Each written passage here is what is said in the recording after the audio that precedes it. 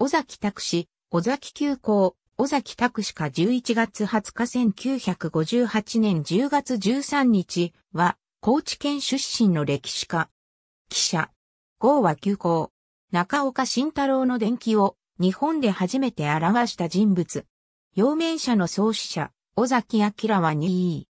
1893年11月20日、尾崎明南次の4、男として、高知県秋郡北川村野川896番地に生まれる。母は、尾崎明新の長女、亀。旧制高知商業学校を経て、明治大学へ進む。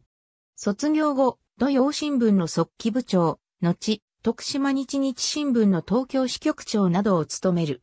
分断、広城佐に参加、大町慶月、田中幸太郎らと交わる。土佐人の典型のような合法来楽で気骨のある性格で、ある時幸太郎を伴って北川村の実家に帰ったが、議論白中し、両人とも主合であったため、二人で一斗損を飲み、透かしたと言われる。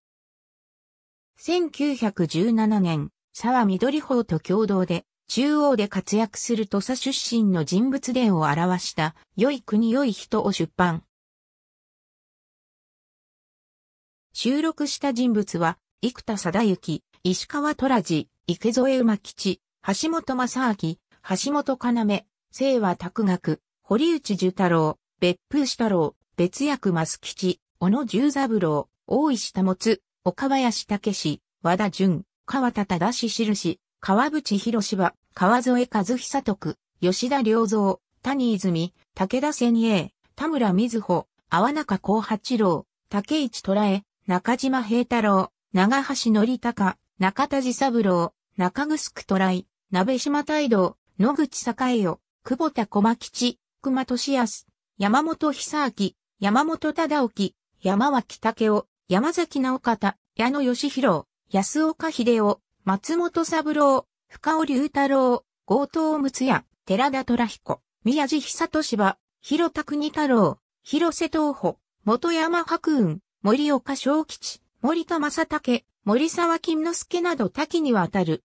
尾崎拓南寺の著作としては、幕末の志士、中岡慎太郎の伝記を日本で初めて表した中岡慎太郎先生や坂本史郎に関する著書、戸村移民、坂本史郎が代表作と言われる。中岡慎太郎の伝記を1927年に造法改定した際には中岡慎太郎自身が書いた海西雑記、行行筆記の日記3冊が収録され、資料価値が高い。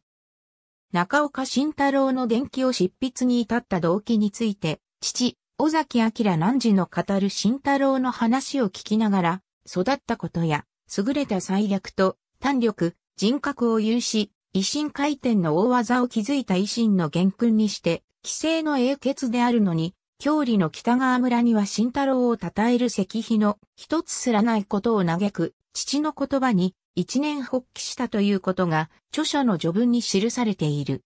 尾崎が中岡慎太郎について執筆していることを知った田中光明は感激して資料提供及び様々な助言を行い協力している。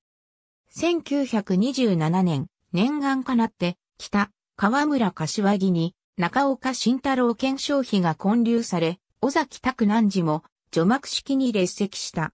その他、浪曲形成、乃木将軍と風雲寺、坂本四郎に序文を寄せ、南海洋、八郎の表した高祖壁夫人の発行人でもある。1958年10月13日死去。去年66歳。墓は、高知県秋郡北川村の川にある。ありがとうございます。